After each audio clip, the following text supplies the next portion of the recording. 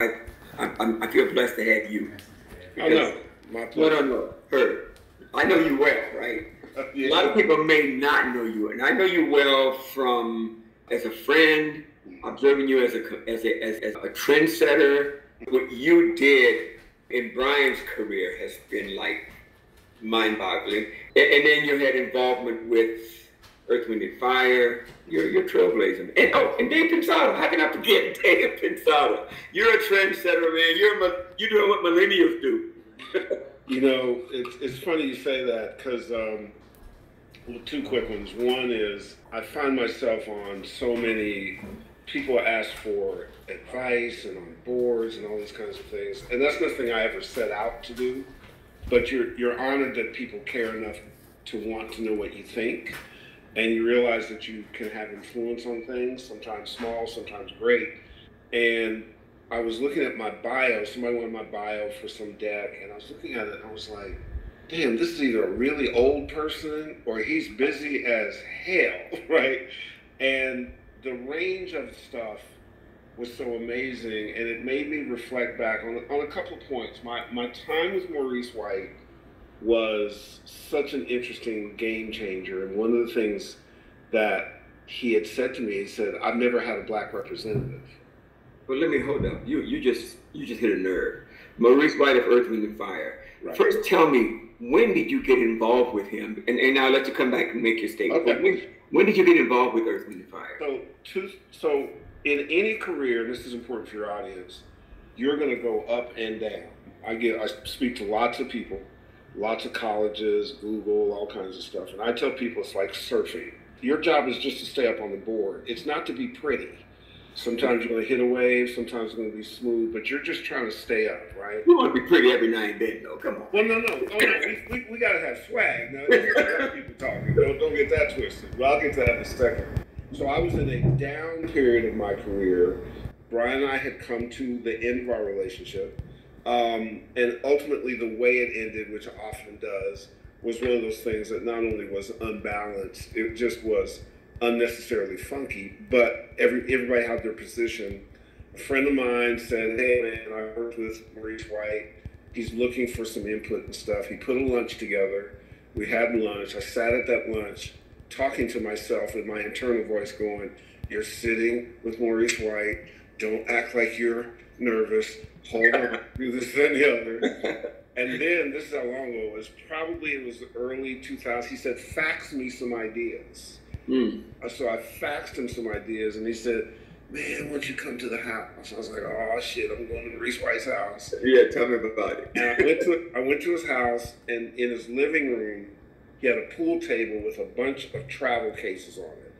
And so I'm looking at those travel cases, and they were small. And you know, I had spent many many a year as a manager, and I was like, the only thing that could be in those travel cases are kalimbas.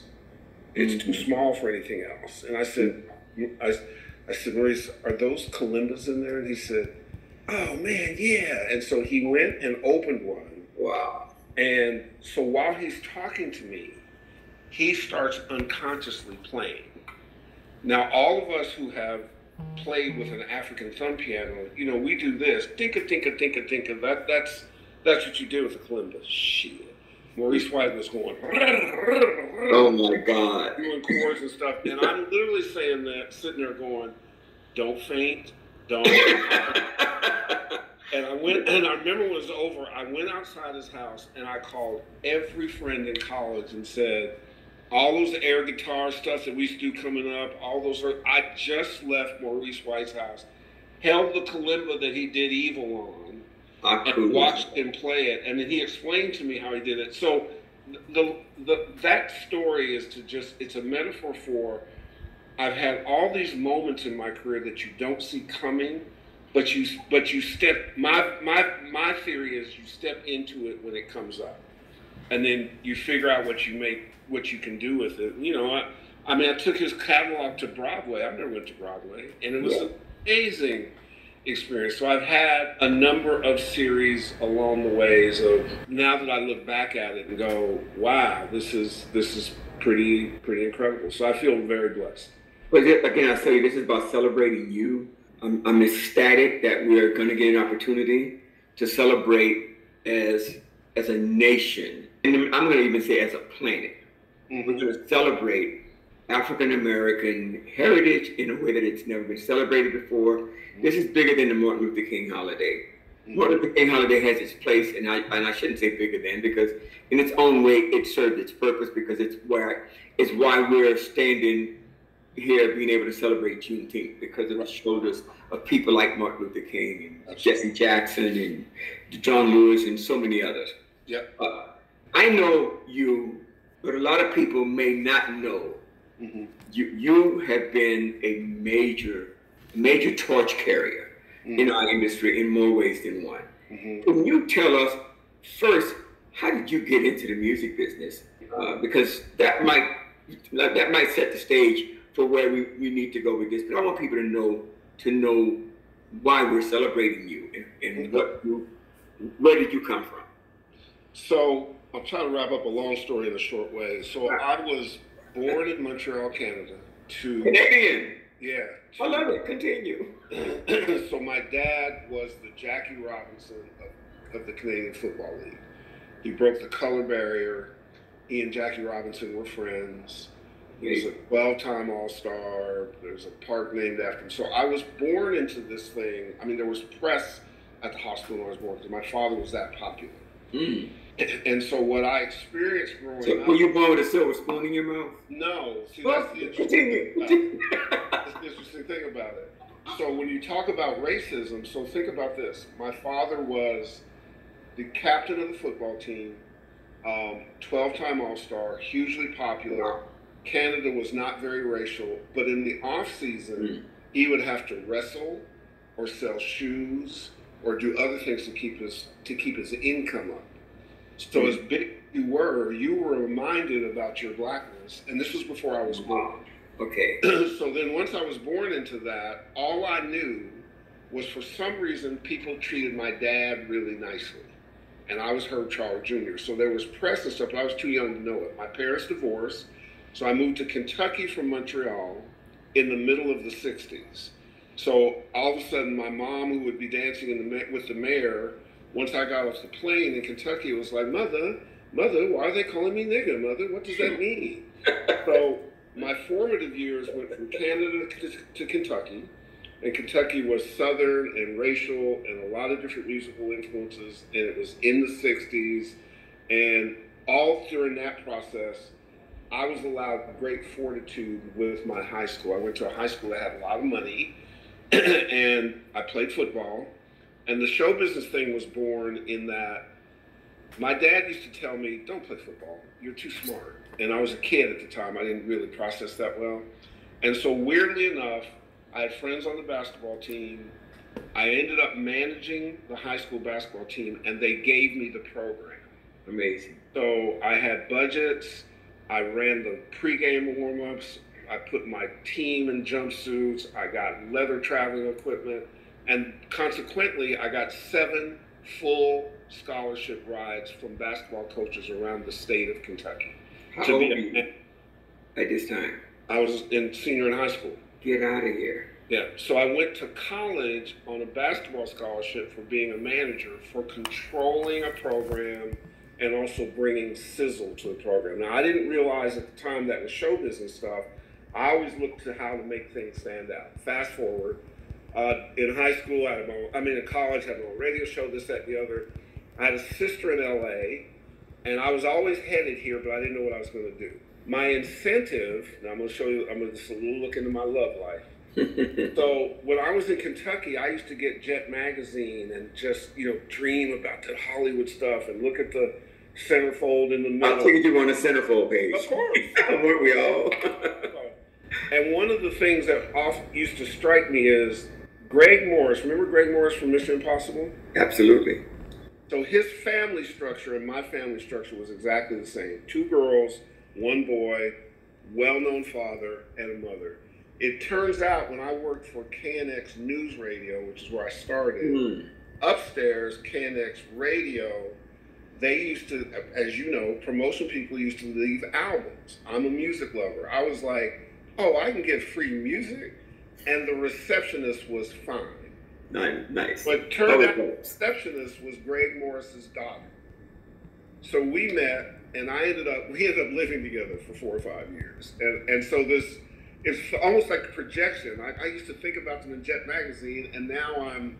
So, anyways, that was my introduction to music. So I started out as a promotion person. I just worked my way in, did all that kind of stuff. And I tell people all the time, I was the poster child for the worst promotion person in the history of promotion. But I was so attracted to the job. Fast forward, I really like dealing. So who was that? Where was where was I? No, who was that promotion person? Don't don't me, me, and I was terrible. Oh, you, you were the worst promotion. I was the worst promotion but, person. But then do a different takeoff for me. Tell me how you went from that process, mm-hmm. And, and, where was the real takeoff for Herb Trawick? Where when did you become the the, the, Superman uh, guy that, that I know? Because I don't know the guy you were talking about. well, so here, here's here's what's interesting about that. Speaking of Juneteenth and black things, so when I got a job, which was first at RCA with Legia, and I was just sitting outside packaging 12 inch records, getting to clubs and going down into the hood and spreading stuff around. And I was the most bourgeois Negro in the hood going, Hey, how you doing? Herb Charles from Solar Records. And they'd say, Man, who is this nigga? Get this nigga out here. so I, I had to learn that. And fortunately, I had Ray Harris and yourself and other people to sort of model myself afterwards. But I ended up through a, through my good, good, good dear friend Virgil Roberts at Solar Records. And what Solar Records were, they'll never get the story right because they don't ask the right people. But here's the bottom line: Solar Records was an entrepreneurial farm.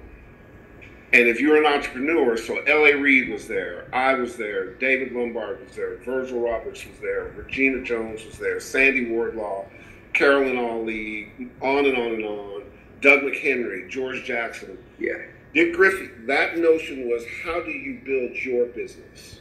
So now Solar, Solar Records was a record company for people who don't know that was a black owned record company right. um, that was staffed with quality black executives and why don't you tell people what the roster was on your label so people can get a better sense for those who don't know because we have a lot of people who are not Oh, for sure. So. We're old, so we always have to. All right, it's all right.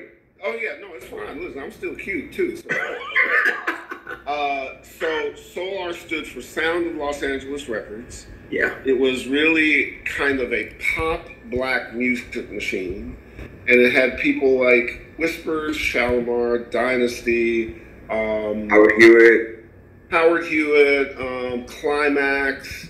Um, and it also was a producer house. So L.A. Reid and Babyface started there. Jimmy and Terry started there early, but then went on. Uh, Dick Griffey advised Dr. Dre and Snoop to not take their records to somebody else and to become entrepreneurs. So through that house, all the time was people on their way to success, people who were independent, people who were entrepreneurial. We managed Jesse Jackson's first presidential campaign we we were challenged to do things all kind when we took the Jacksons out on tour it was with Robert Kraft who owns the New England Patriots when I bought hot tickets to sell to people because we were connected you know who sold me those tickets? Who was who was Joe Jackson's bagman? Who was it? Al Sharpton. Oh get out of here. So as a young guy coming Reverend you mean Reverend Al Sharpton. Oh he's he's reinvented himself and, I, and much props to him. So that's also something we should allow ourselves as black people. So I came up in a system that fomented being an individual thinker, do your thing, take risk, and all that kind of stuff. So after Solar, I started managing Brian McKnight, and we connected because we liked each other's musical taste. Brian blew up. Um, I never take credit for doing it alone. We had great teams at X Time and other people that, but I had a pretty big influence on it. And our my management company was really known for bringing the stories. We'll come to the label and tell you what to do.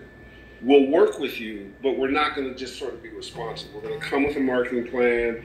Sharon Hayward ran everything. Damian Smith, who's now Irving Azoff's partner, is my mentee. And so we came fully loaded, and we also tried to also be really collaborative, be good partners. So I got lots of, I got label deals. I got financed to do things. People were. I was offered the presidency of RCA's Black Music Division. I turned that down, and and the stuff was going right. I also felt that I never needed to be in front of the scenes that much, but I wanted a lot of leverage behind the scenes.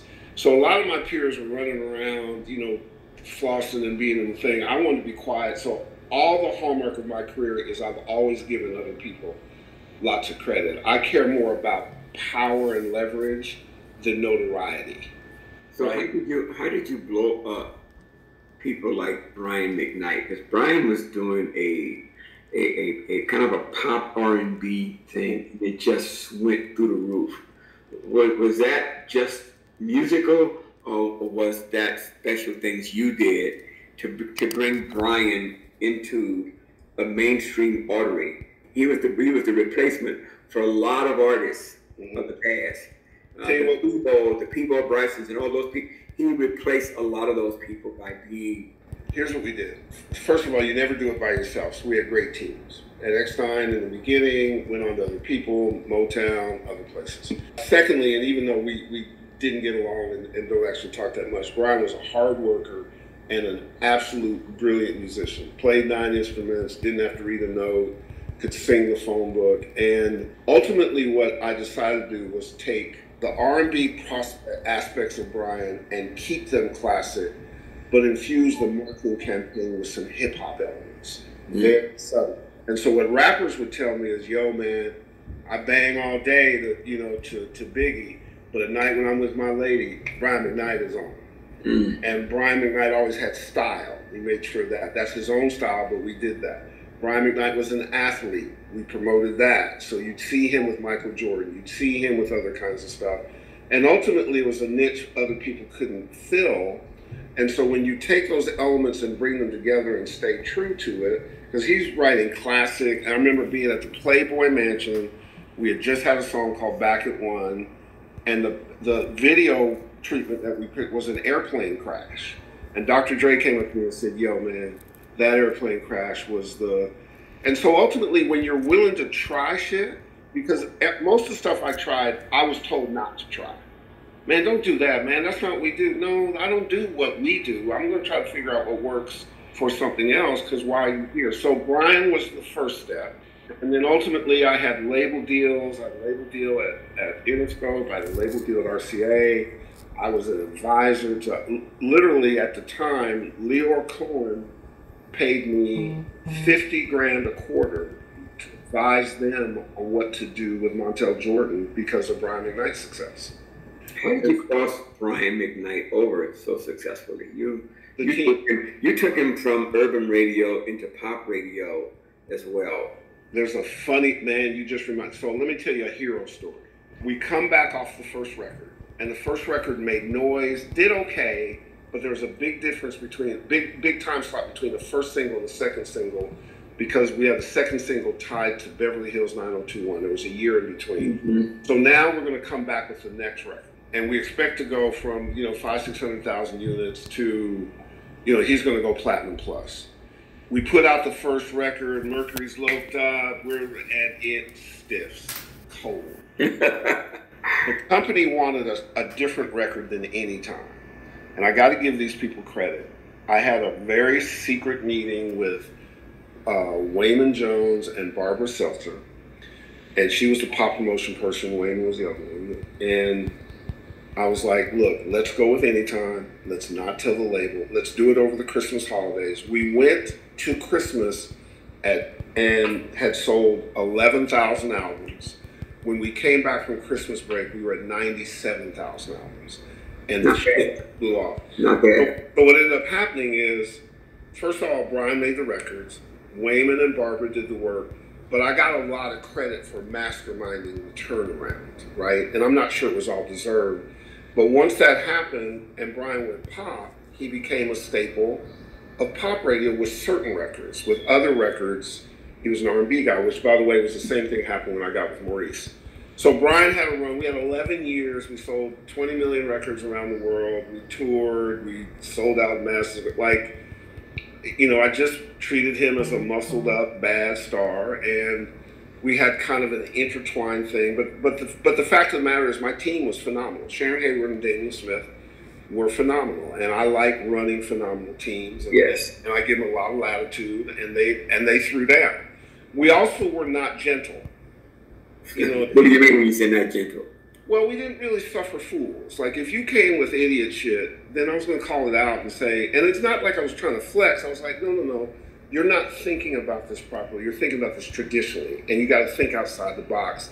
Let us go try things outside the box. So Brian was one step, then the segue to Maurice was the second step, and that, with the success with Maurice, publishing deals, taking stuff to Broadway, other kinds of things, did a record at Concord. I think a reputation starts growing around your career. And the through line through my career has been seminal black moments with black artists of greatness where a black person who was managing or leading the charge made sure white folks he was dealing with respected us at the same level they respected us. I didn't take any quarters. I didn't, you are going to play me the same way you play somebody else, or we're going to have an intellectual discussion about it. I'm not saying I was the smartest guy, but you're going to meet me at that level and not make me the black partner or the black manager or my artist. So I gotta ask you something because you talk Earth, Wind, and Fire just represents too much grandeur. You got an Earth, Wind, and Fire's mix after Kalimba. That's the way of the world. How did you feel that you could take them to another level? And what were those levels that you took Earth, Wind, and Fire to? Because they, it seemed like they had already accomplished everything. They had. They had, and well, so here, here's here's the answer to that question. It's a great question. At the time I got involved, I got involved with Maurice White. Maurice White had had Parkinson's and had stopped touring, and ultimately still had a catalog, a business, other things to do, but nobody around him was coming up with ideas for what he needed to do. The business structure was Maurice and White's name to Philip and the rest of the band so they could continue the tour, he could continue to make money. So I worked on Maurice White's side of what was going on. And it was interesting because some of that was contentious. Mm-hmm. Every every negotiations for the new license was contentious, and so I found myself sometimes pitted against people who I completely respected, but I do my job. I was on the side of the man, and then my mentee Damian Smith went and ran the Earth, Wind, and Fire side. So it was a it was a strange kind of, but it was fascinating because with Maurice I had certain latitude. If it was about using the name, Maurice had the name. If it was about using the catalog, we could go do that. So I had to go do non-traditional things, like we did a record with Concord where we had a bunch of famous artists do Earth and Fire stuff. We took his catalog to Broadway. Transamerica put up $18 million. I didn't know anything about Broadway, but I learned it. It was one of the most amazing things. Maurice and I were on the road. But more importantly, Maurice White and Muhammad Ali got Parkinson's the same year they had it the same exact number of years, and they died in the same year. And that's over 30 some odd Parkinson's. And, and what I got entrusted with with Maurice was he always hid himself. He wasn't a really outgoing guy. And I was like, Reese, you got to understand that you give Parkinson, people with Parkinson's hope. You're functional, you're putting on plays, you're traveling. But what he also had to do was give up some of his dignity and put himself in your hands because Parkinson's is triggered by cortisol in your brain and it freezes you. Mm-hmm. And so anytime he did something public, if somebody came up for an autograph, or I've been in restaurants where he would freeze and couldn't eat anymore, I have to wipe his mouth. And I knew that him putting himself in my hands was to say, protect me. Mm-hmm. Right, and and, were, and I mean, we stayed at the Watergate Hotel for three months previewing a play, I was with him every single day, and he was working every day. And I was like, Reese, people, and you know, we're meeting with Judith Jamison and Mikhail Baryshnikov, and yes, just amazing stuff. So the Maurice thing was amazing, and at the Maurice office is when Pensado's Place was born.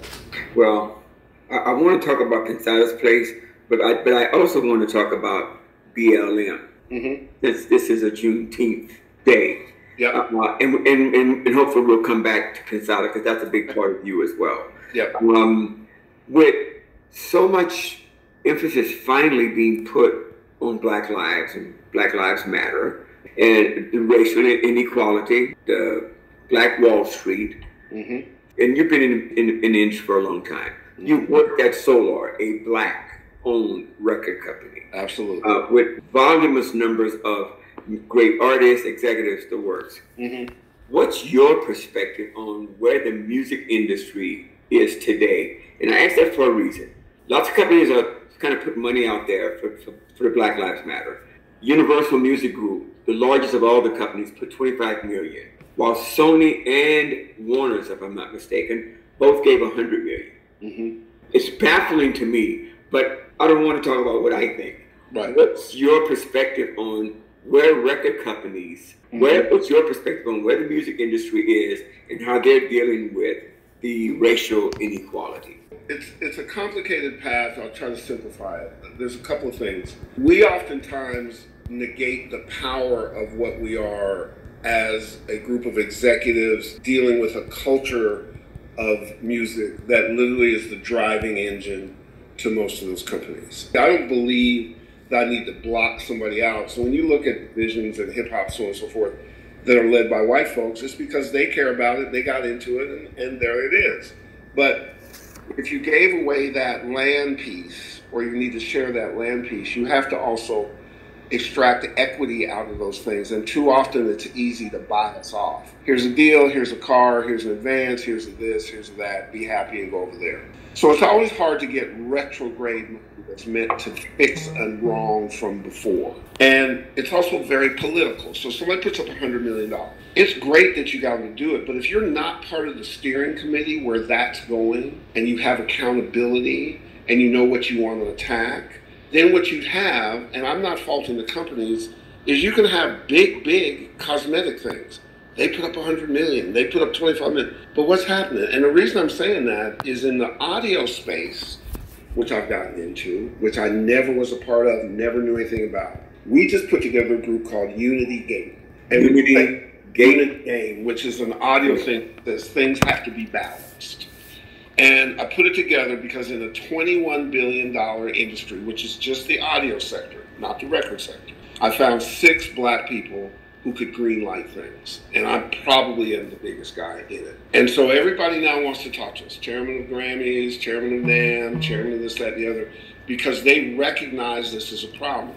You sell to our customer base, but you don't have anybody for pathways to management, nobody on boards, nobody coding, nobody doing the talent but it's all the music that you, and they are more than willing to recognize it. Now, what I took from that is I looked at the other examples when everybody got going and let's save all the record executives and let's save all the black stuff. Well, a lot of what happened with that is politics sunk in.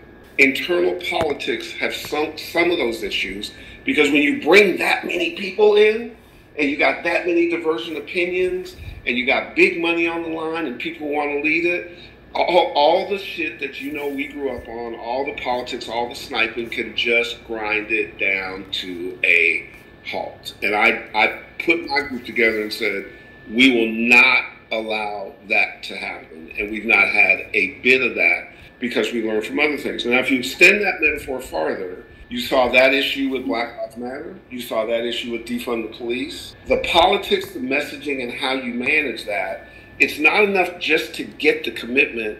You got to manage the commitment. You got to show things that have happened.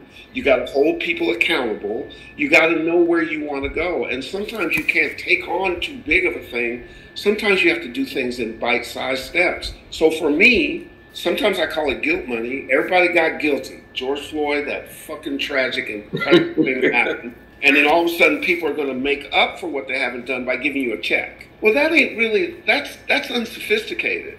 Put up some money and let's put a plan together. And then in a year, report those results to everybody and let's see real change. And I don't like cosmetic change. Are we going to call it urban? Are we going to call that ain't what the fuck?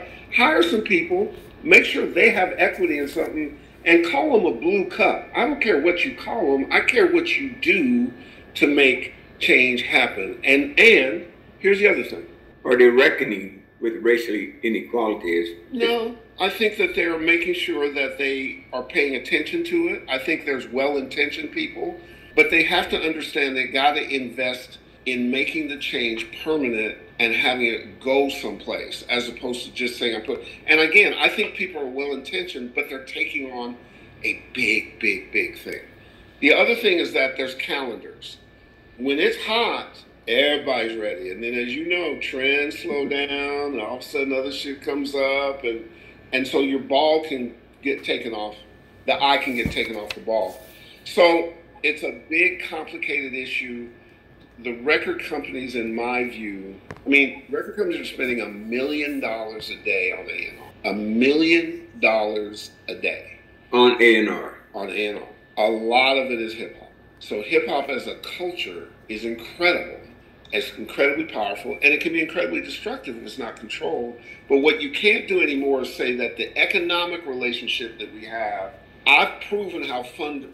You're now spending a million dollars a day because this culture works. White folks buy it, Spanish folks make it. They all they all make it. They all love it. So where's my seat at the table? So that we're making bigger decisions. Don't give me a little package of money over here. And a hundred million dollars is not little, but when you're spending a million dollars a day, a hundred million is something, and then who's running that package? Where is that goal? Where do we go? So you're taking a complicated problem, throw money at it, and it needs complicated and extensive follow through. And it's not always should be people in the record business are doing it. They're not trained for that. Go hire the McKinsey company. Go hire somebody and and consult us to make sure it's something that corporate has to deal with that's going to be instituted personally. Approach it as a business person and not necessarily emotionally. And again i'm not taking anything away from anybody. It's just super complicated. Last part is there's too much this didn't happen in our time. There's too much of a of, of a separation between the young and the hot and the active and some of the senior folks who could give them advice to help make the journey better so, so I have a question. Yeah. You talked about the record companies and million dollars a day on A and R. Mm-hmm. Hip hop is definitely the dominant music force. Do, do the record companies have a problem finding quote unquote qualified African Americans to be the decision makers? I don't think so. Are they looking for people? I think they're already in place. I, I so it's a great question. I think some are in place. I think what they look for today, as you know, this it's a youth-dominated business. So you're always always has been, always has been, always has been right? Yeah. But there's times where they're not youth issues. Well, it's not, it's not, it's not youth dominated if you're Clive Davis. So let's keep it, let's keep it real. Well, well but, but, but, but, carry on. I don't want to change well, the conversation. Well, let, let, let's say what you said a different way the record business has always said, let me identify five to seven people that are ageless. Clive is ageless. Doug Morris is ageless. L.A. Reid is ageless. There's certain people who make the cut, and there are other people who don't make the cut. Where's that Eckstine? Where are you? Where's this? Where's that? And so ultimately, when you need senior thought, people who have been through things, through life experiences and so forth, you might not have it there. Now, that takes nothing away from Jeff Harleston or mm-hmm. Hunt or some badass talent, right? But when you put all that on them and they're expected to perform and so on and so forth, and here's the other thing now folks can make real money.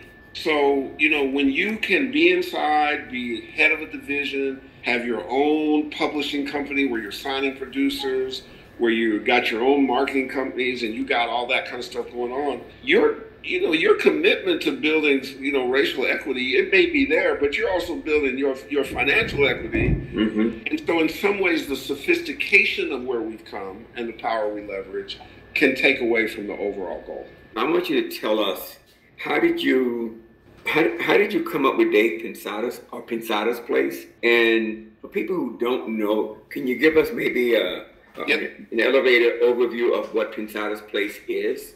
So Pensado's Place is essentially a talk show oh, that covers the space of audio. We've been on for over 520 episodes. We're seen in 200 countries, probably about 8 million people a year. We are the largest influencer in that space in in the globe. When we first did it, nobody had done it. In the world, yeah. Yeah, in, anywhere. Now we have a lot of competitors, but we're still the biggest guys. And we weekly, Dave and I have shot this show. I literally where I'm sitting is where I shot it, which is why you see Dave. That's Dave Pensado. Mm-hmm. Dave had a medical incident, and I used to manage him a long time ago. When I I got Dave in to do Bell Biv DeVoe, thought it was me. That was his first record that blew up. I did that actually with Kevin Fleming. Yeah. And Dave had a huge career as a mixer, and we'd always been friends. I wasn't managing him at the time. I was with Maurice. He had a medical incident, and somebody told me, and I, he said, "What should I do?" And I said, "Here's an idea, but it wasn't to do a talk show. It was to do something on the web." But he's not a worker like that. Anyways, through the suggestion of a distribution thing, they were like, "Oh, we we would come up with that." So all of a sudden, I had to come up with a show. That's not what I do. Came up with a show, trying to tell him how to do it. It's not something I did. He was terrible we had to do a pilot, and I said, I'm gonna find you a co-host. I'm, I'm working with Maurice White, but I'll do this first pilot with you. I did the pilot, and the distribution platform came back and said, Hey, we can tell you guys practice. We got good and bad news. The good news is that you practice. The bad news is we won't do it unless you do it with him. And I was like, Oh man, I don't want to fuck with him. What the blah blah blah. Changed my life. Changed, changed my life. I've spoken at Google. We have spoken around the world. We have people. We have we have the largest sponsors in the business. I have an enormous, an extraordinary amount of power in a place that people didn't look at. I'm seen as a trailblazer. As a, I, actually, in January, we got we got inducted into the Hall of Fame with Joni Mitchell. Congratulations. Yeah, no, it was a That's big deal. I mean, it's Joni Mitchell, Quincy. Like, there's the people that are in the TEC Hall of Fame are just the best of the best. We have a live touring division that goes around and speaks. We've had people show up from, you know, if we have an event, we did one in Washington called Cap Jam. We had people come from 19 countries and 22 states. That's we gave, we gave away five recording studios, 10 scholarships. I can call a manufacturer and they'll say, "Oh, what do you need? I'll send it to you." And it's been amazing because I was unknown in the business, and there aren't very many black people. So I was Dave's friend and for many years, they thought it was the Dave Pensado show, and it's not. Yeah. It's really Mr. Rogers' neighborhood, and every. so when we like, I never went to NAMM, and for the last seven years, I've gone to NAMM, and we have to have security to walk around. Okay, now Herb, we're gonna run out of time. You okay. got to tell people what NAMM is because I got a couple other questions for you, and I want you. You may have a question for me, but okay. tell people what NAMM is. National Association of Music Merchandisers, which is the largest musical convention in the history of music. For four days in Anaheim, 160,000 people come. Is it in Anaheim all the time? It, it's in Anaheim all the time because people come from all, all over the world. So I actually co-hosted their last virtual one with the chairman of NAMM. And who and who and who are the companies that are there? I'm sorry. Well, the, the, the people that are there are more important. So it's all the people that make music and all the artists. So Stevie's in one corner, Herbie Hancock's in another corner, U2's in another corner, and it's Fender guitar and Roland and this, that, and the other. The last thing that's also happened out of Pensado's Place, I'm now on the board of educational schools. 1500 Sound Academy in Inglewood, I've been their advisor for a long time. Blackbird Studios in Nashville, which is amazing. Uh, Abbey Road, which is a legendary thing. They they've asked me to be on the board. So I went into a space where most people wouldn't go. And I was like, oh, you let me in? Okay. Let, us go do this. So that's what Pensado's Place is, and it, it's been an amazing thing in my career. And now we're bringing lots of people through, and all the black talent is there. So every week I'll have Kendrick Lamar's mixer on, or Keith Urban on, or somebody from Mixed by Ali, or 50 James Fauntleroy. Yeah. All the people who make the music and produce the music and are stars of the music in every genre. We'll have Bad Bunny's people on. We'll have and they love us. And I'm like, I'm a 65 year old man, and y'all care. So, so you're, you're a bad boy. Um, so, so, so, on takeoff, I need you to tell me something. Okay. What would you like our global audience to know about you and your story? Um, Mark Cuban says the only thing you can control is your effort. Effort. Effort it's either excuses or results it's not both and so if you if you control your effort i can tell you that i started Pensado's place i started it i was 55 years old. I didn't know enter or net okay? But i'm smart enough to say let me get help. Let me learn. Let me figure out. I wasn't a broadcaster. I now do that continuously all kinds of places. And so don't think it's over. Put your innovation and your mind to it, put your effort to it, and then learn what it is. I tell kids all the time, you can sit all day, try to play your pay your rent with likes and subscribes. Your landlord doesn't take likes and subscribes. You can stand there all day long. I have a big platform. I have a lot of followers. I don't even look at the, I don't keep an Instagram thing. What I do is make sure somebody like Sweetwater or some of these big companies will pay us a hundred grand to do the work. Yeah. So, so you have to define where you're going to go, and then go there and be the best you can be. What what my good friend Virgil and I talk about all the time is never equal either lesser. Make the choice to be greater every fucking time. Set your own bar. So, so now, thank you. Now, and lastly, this is a segment that, that I do that's called Ask Ernie. Okay. That's where my guests get to ask me a question. Okay. If you got one, you don't have I to have one. I'll come up with one. I'm never mad when you don't have one. No, no, no. But- think um, Yes. so. If you take your perspective, you know you've seen it all, you've run it all, you've been, and you know the ups and downs. What advice do you give people about the down periods? It's easy to be up What advice I give people when it's down? when when their careers, their situations, whatever, are down. It throws a lot of people. It's it's it's just the advice that I give everybody all the time. It's like it's like the advice of life. There are peaks and there are valleys. Yeah, You, as, as long as you don't flatline, it's, it's really not that bad. Stay on the board. Most of us, when we're in the valleys, Mhm. we tend to sometimes feel like you know something's going wrong. Mhm. Uh, in my mind, I try to encourage people. Now, what I'm about to say to you is easier to say to you, but it's not easy to do. Right. I try to encourage people to do inventory on themselves. Always. Take a look within. Always. sometimes, sometimes the valleys are deeper than they need to be because of something we've done, or we, or we get complacent in the valleys Yep. and get stuck there because we read it as a flat line when it's really not that. There are peaks and valleys all the time. Well, I, So- I'll, I'll add. I tell that to people. To, And, and I'll add to that by saying I tell people all the time, when you're failing, you're learning, and when you when you're learning, you won't go back and make that mistake. Now it's very hard to in the middle of it to know that this is a good situation. When somebody's after your car, you ain't got no money or whatever, but you will not make that mistake again. So every time you come out of that flat thing, you're better and you're more prepared for the next step. I have failed a lot. I don't know anybody successful who hasn't failed a lot because if you haven't failed, you haven't learned anything. So you, you know what I'm saying? So Yeah. Yeah, and, and I think it's important for not only people to hear, but people who have moved on in their career sometimes and have feel forgotten and left out. Pivot. This is an opportunity for you to pivot. Yeah. Pivot Well- and do something else. You, you you can do it. If my old ass can do it, your your ass can do it. well, you know, you call yourself old man, but we got friends that are older than both of us Oh, that absolutely. are just so iconic. Herb, I, I want to say thank you, man, because this has really been incredible. But we got to do this again because you got you got you got too much. You, there's too much depth in where you've been and what you have to share. I, again, I want to say thank you uh, for joining me, and and and we'll and we'll, we'll have to do this again. And our, our producer is getting us to go, but let me just say this. Ernie Singleton's contributions to our business and what we're done, one, his skill set is ridiculous, but even better, his heart is really what makes Ernie Singleton Ernie Singleton. So, brother, I salute you. I salute your contribution. You don't know how much I took from you, but I, I probably owe you publishing, but we'll talk. uh, That's all right. I'm a big fan, brother.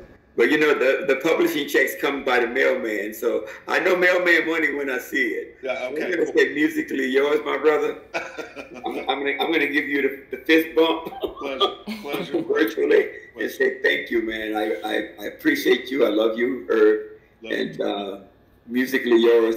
I'm out. I'm here for you anytime.